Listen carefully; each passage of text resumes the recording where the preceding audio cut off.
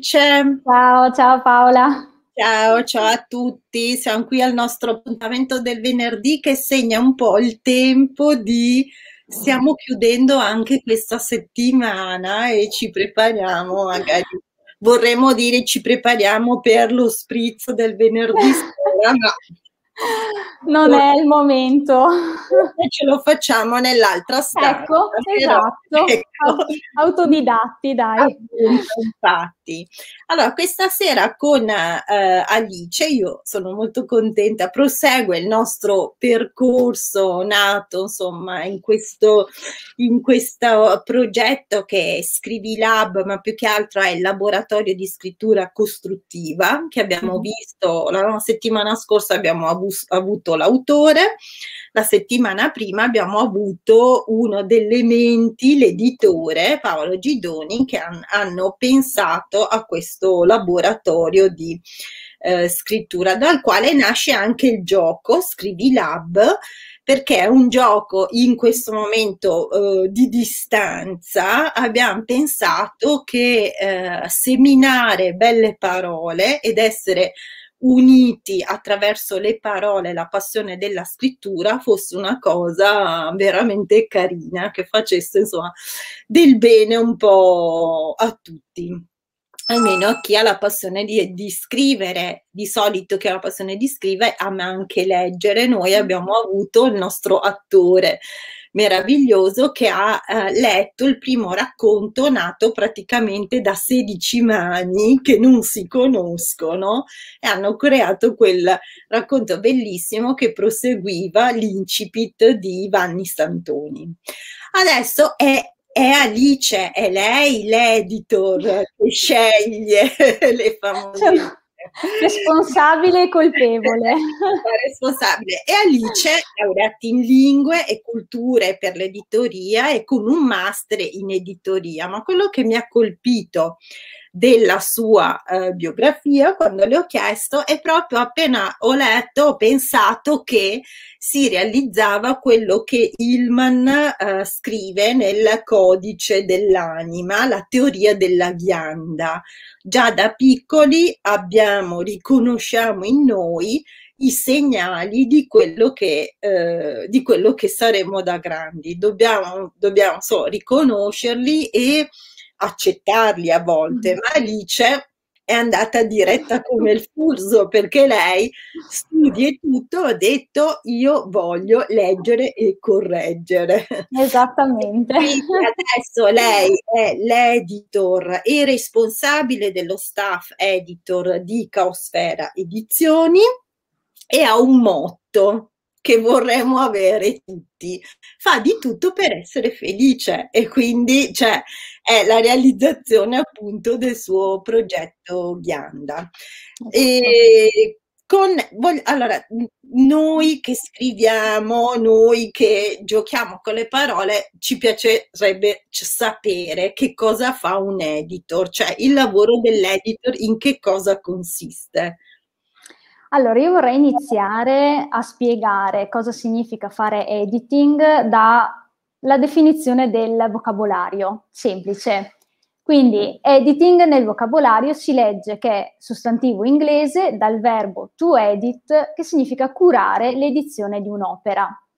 Cosa dice il vocabolario? Le, eh, si, mh, mm, si legge in editoria cura redazionale di un testo per la pubblicazione cioè lettura attenta intesa a verificare la correttezza di ortografia, grammatica, sintassi, l'organizzazione strutturale del testo e la sua coerenza interna, l'adeguatezza dello stile, l'esattezza e la rispondenza alla realtà delle asserzioni scientifiche, storiche, eccetera.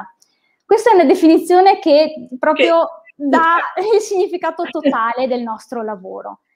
In pratica il testo eh, sta al centro sta a metà strada fra l'autorità artistica dell'autore che ce lo propone e invece dall'altra parte la prospettiva critica di un editor che lo legge e che lo deve poi presentare al pubblico e lo deve pubblicare.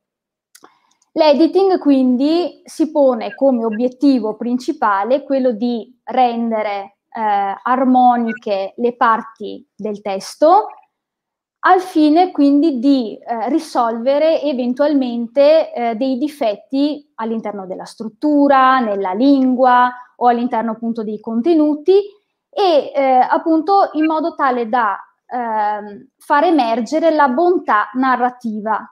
La bontà narrativa è il fulcro di tutto. L'autore eh, ha una sua idea, un suo progetto, lo mette su carta però magari nel percorso può incontrare degli ostacoli, può fare degli errori eh, a livello appunto di lingua, a livello di anacronismi storici, di punteggiatura e quindi l'editor lo aiuta a risolvere tutto ciò perché un libro, un testo sia facilmente poi leggibile. L'editing però non deve assolutamente snaturare il testo, quindi eh, lavoro, il lavoro dell'editor non deve a, andare ad intaccare lo stile dell'autore.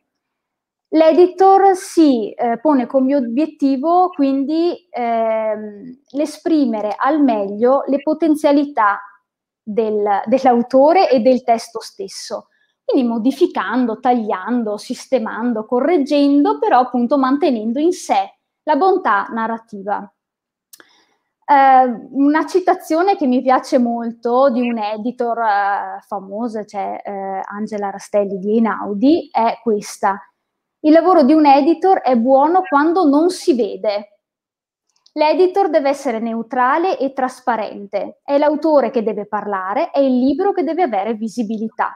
Quindi il protagonista vero è il libro, è l'autore l'editor deve essere neutro e imparziale dietro a questo lavoro. Ed è nella, so- nella definizione veramente. Esatto, cioè, mi, eh. mi, piace, mi piace molto e mi emoziona anche spiegare queste cose. Nella sostanza, però, cosa fa un editor? Voglio spiegarvelo in poche parole eh, le, le, operazioni che facciamo sul testo sono di macro editing, di micro editing e di correzione delle bozze. Il macro editing è la lettura iniziale, la prima lettura e l'analisi della struttura del testo, quindi l'intreccio, i personaggi, l'ambientazione e su questo l'editor propone delle eventuali modifiche all'autore.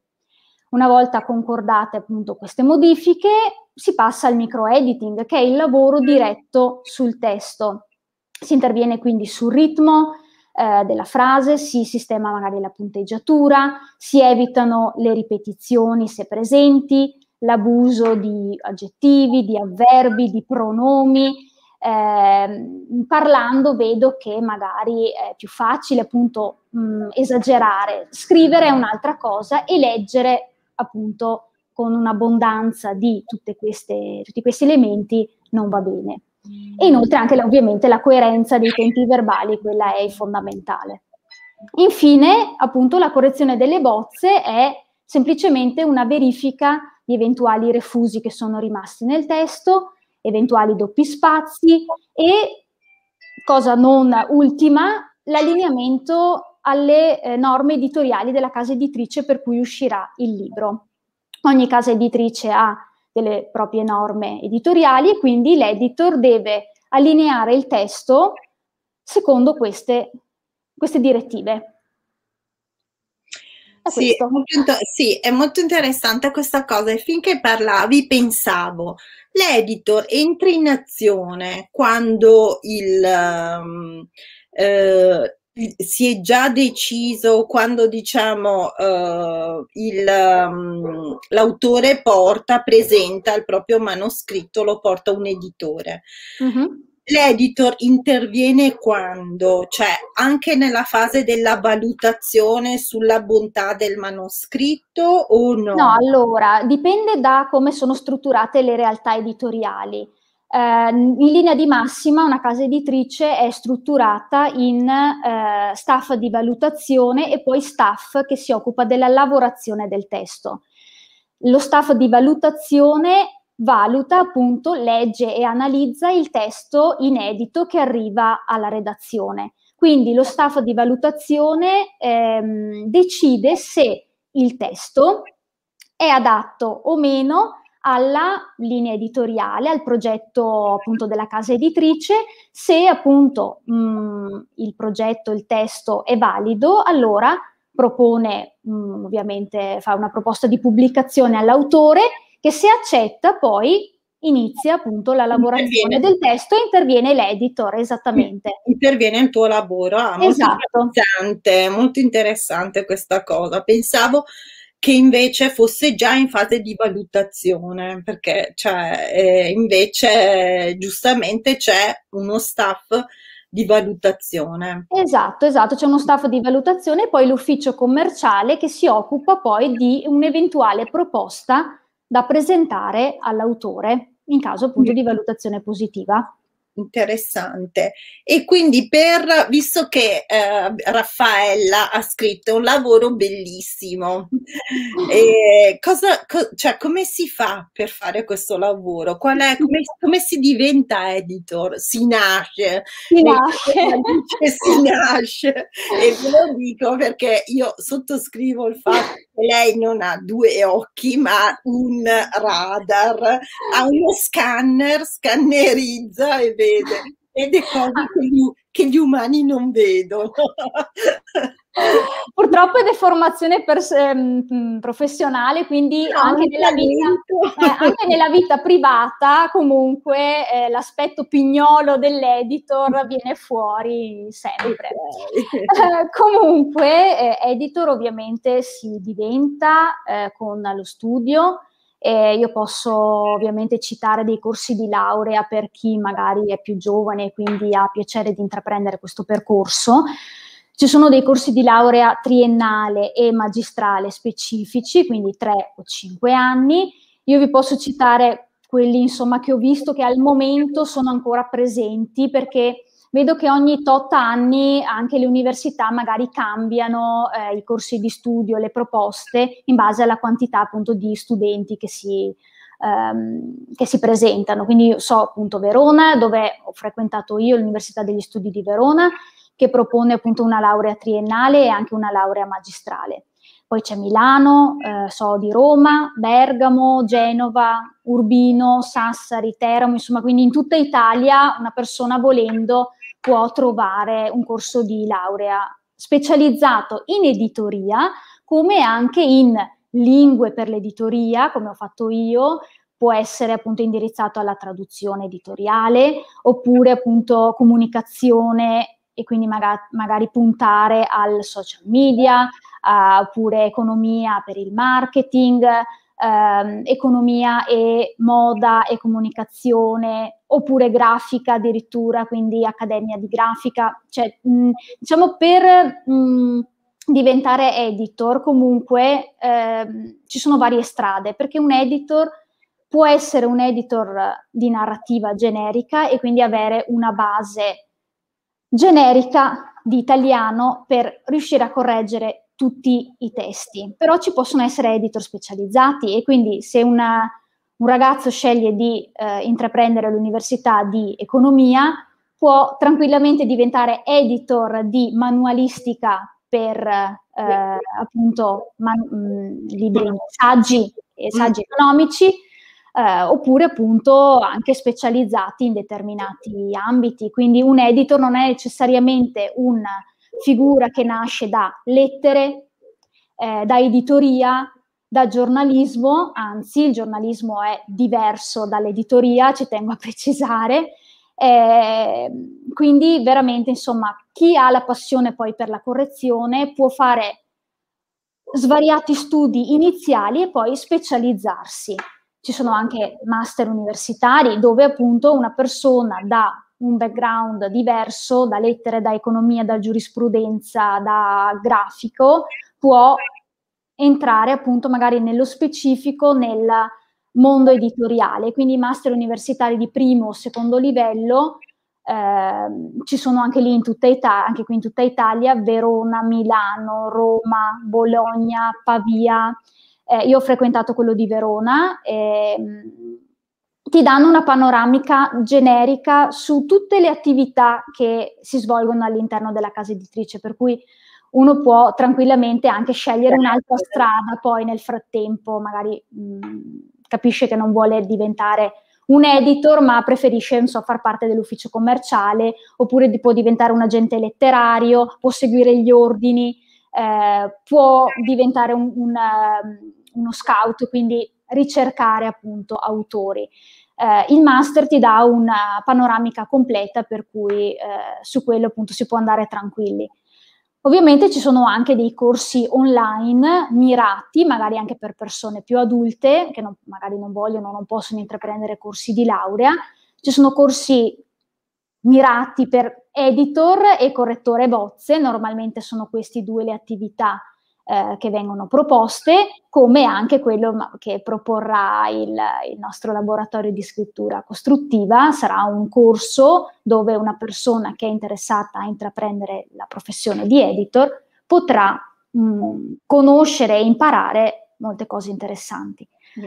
Ultimo, ma non ultima, secondo me è la passione. Quindi, come dicevamo prima, se una persona lo fa con passione, poi lo fa anche eh, meglio e, e, più appunto mh, in modo più opportuno anche per ovviamente il, l'ambiente in cui lavora, perché se una persona non lavora con passione, lo fa solo per, per passare il tempo oppure per lo stipendio, non, secondo me non, non, arriva comunque a uh, un, um, un lavoro concluso ottimo. Ok, come, come in generale, insomma, alcuni lavori probabilmente la parte, de, il cuore ha la, una parte molto importante. Raffaella ha scritto un uh, messaggio lunghissimo, tu lo leggi Alice? Lo leggo, sì. Okay. Un aspirante scrittore deve mandare dei pezzi di testo a vari editor o sperare nei concorsi Ormai per fare l'editor è tardi, dopo il liceo classico volevo fare la correttrice di bozze ma non mi hanno mai risposto. Si vede che ci vuole la laurea, mi accontento di scrivere e correggere il mio blog se tornassi indietro. Affella, non, eh, non demordere, nel senso che appunto eh, una figura di editor eh, può nascere, come dicevo, anche seguendo dei corsi online, perché ci sono corsi online che sono veramente validi e che danno appunto un'infarinatura generale, ma che danno poi anche gli strumenti adeguati per poi lavorare all'interno della casa editrice oppure da esterni. Perché appunto l'editor, dovete sapere, e il correttore bozze non sempre lavora all'interno di una casa editrice, ma può tranquillamente lavorare da freelance okay. e quindi da esterno. Ah, ok, questo no, non, non, lo sì, sapevamo. Non è, non è, semplice riuscire ad entrare in una casa editrice, in una realtà, in un gruppo editoriale, ma eh, spesso e volentieri eh, le realtà appunto editoriali richiedono o preferiscono avere delle eh, figure freelance con partita IVA e che lavorano da casa in smart working co- sempre e poi, esatto, e poi tramite deadline periodiche eh, si interfacciano con i responsabili eh, all'interno appunto della casa editrice e si eh, poi interfacciano appunto per la consegna del lavoro. Quindi direi insomma che se una persona anche adulta può eh, tranquillamente intraprendere un corso online per, eh, per, diventare editor, poi può eh, inserirlo nel curriculum e eh, proporsi alle case editrici sia come interno che come esterno. Ovviamente bisogna fare tanta pratica perché eh, verranno sicuramente chiesti per valutare insomma, l'operato dell'editor delle prove gratuite. Quindi tramite tanto esercizio e tante prove, anche in autonomia, eh, l'editor appunto acquisisce esperienza e si, può, e si può formare e proporre alle realtà editoriali. Eh, allora, ehm, allora, eh, Stefania, Stefi eh, scrive che Paola, ci confido ci parlerai di questi corsi, grazie. Allora, beh, più che io, mi parlo, io sono un po' l'editor digitale di quelli che sono i, be- i bei progetti. E, ehm, se scorrete nella pagina di Scrivilab, se siete nella pagina di Scrivilab e scorrete, eh, nelle video dirette abbiamo fatto la video diretta con l'editore dove eh, sono stati presentati i laboratori. La settimana prossima dobbiamo definire le ultime cose con eh, Alice. Alice farà parte del anche come docente Alice del terzo step, proprio quello dell'editor. Ci stiamo, ci stiamo lavorando, vediamo. Okay. non e... svelo nulla. Ok, e nei prossimi giorni faremo girare il link con la presentazione dei eh, laboratori che eh, sono, partiranno verso la, il primo step parte verso dopo la metà di aprile. Eh, sono a numero chiuso, ma insomma vi diamo tutte le informazioni e poi parti, parte il primo, poi insomma partono anche gli altri. E sai che abbiamo, siamo già a 21 minuti, quindi abbiamo già sforato i esatto. minuti. Ok. Uh, Raffaella ci sta dicendo che sta seguendo un corso di a scrocco da suo marito. Ok. E, e, qui abbiamo una fan, quindi... Ah, ok, che noi avremo come ospite eh sì, eh sì. sono una, una, delle autrici che pubblicano come... Esatto. Ciao anche da parte mia. Maria. Ciao Maria Beatrice. Allora, per chiudere, io quello che chiedo sempre, visto che Alice dice eh, che eh, fa questo lavoro ed è felice, si vede, insomma, cioè che è una cosa che la soddisfa, ci puoi raccontare che cosa veramente, eh, se c'è stato un episodio, qualcosa che ti ha particolarmente soddisfatto o se c'è qualche, quali soddisfazioni ti può dare, insomma, mm-hmm. questo, il tuo lavoro. Allora, questo lavoro a me appunto che sono fortemente appassionata e ho molto amore in quello che faccio, dà tantissime soddisfazioni sempre, ogni giorno e in tutti i testi che correggo. Come dicevamo all'inizio, eh, leggere e correggere mi ha affascinato da sempre e l'ho fatto fin da piccola, per cui la ricerca del refuso, dell'errore è diventata una missione per cui io qualsiasi cosa leggo, qualche etichetta, qualche banner pubblicitario, gli articoli di giornale, sono sempre alla ricerca del refuso Ehm, quindi dif- diventa, come dicevo prima, appunto una deformazione professionale anche nella vita privata. Comunque, in, in linea di massima, eh, la soddisfazione è il vedere eh, un'opera che appunto tu hai corretto pubblicata. Pubblicata perché sia eh, letta e usufruita dalla maggior parte delle persone. Quindi vedere un'opera pubblicata, secondo me, non è soltanto una grande soddisfazione per l'autore che ha scritto il testo, ma è una grande soddisfazione e un grande orgoglio per me che l'ho corretto, per l'editore ovviamente che ci ha creduto e anche per tutto lo staff che con me lavora al testo, quindi dai grafici allo staff eh, dell'ufficio commerciale, poi lo staff social, lo staff dell'ufficio stampa che lavorerà post pubblicazione. Eh, voglio precisare appunto che non, eh, nessuno è perfetto, non sono perfetta io, non è perfetto nessun editor perché eh, in tanti libri che si leggono anche di editori famosi si possono trovare dei refusi, non c'è problema, nessuno è perfetto, ripeto, quindi farsi sfuggire un refuso, un errore può capitare non, ci si deve, non, ci, non bisogna farne un dramma. Io per prima magari quando vedo che magari mi sfugge qualcosa mi arrabbio, però non, non bisogna, dai, siamo umani, non siamo macchine, però eh, quello che posso consigliare a chi vuole intraprendere questo mestiere e che magari appunto si trova in difficoltà i primi momenti perché appunto magari si lascia sfuggire delle cose banali, dei refusi veramente stupidi, una cosa utile è rileggere a distanza di tempo il testo, quindi se si ha la possibilità si legge e si corregge la prima volta il testo, poi a distanza di qualche giorno a mente fredda lo si riprende in mano e talvolta eh, saltano fuori degli errori, dei refusi che prima non avevi visto.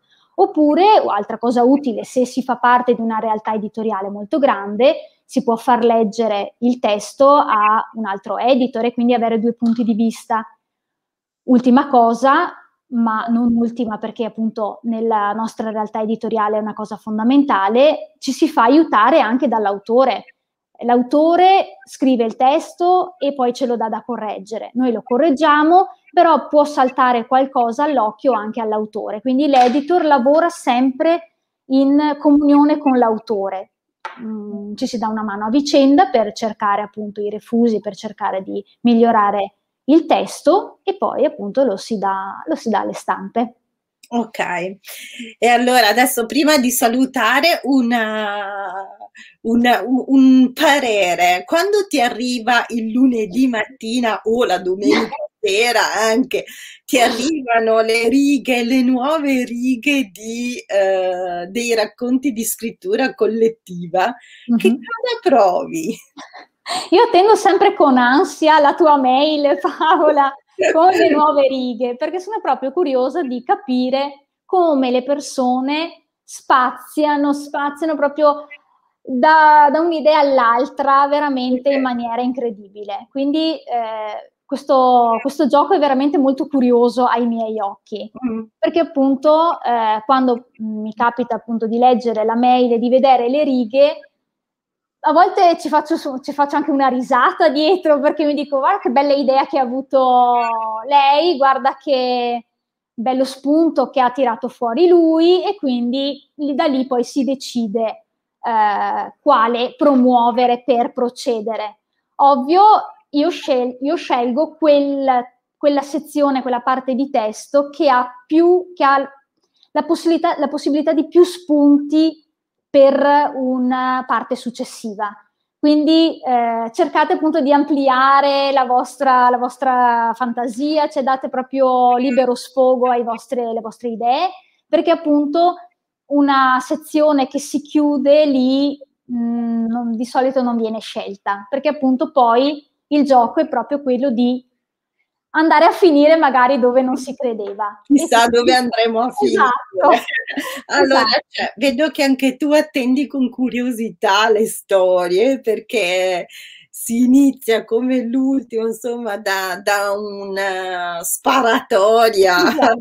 nel Far West e iniziano ad apparire soldi, taglie, esatto. esatto. cose meravigliose, va bene. E dopo appunto la cosa migliore è vedere poi alla fine del gioco dove si è andati a parare con le varie idee di tutti i partecipanti. Quindi è bello proprio poi rileggere con, come... il letto, con, il lettore attore il, il testo finito. Infatti, come Garden Jones.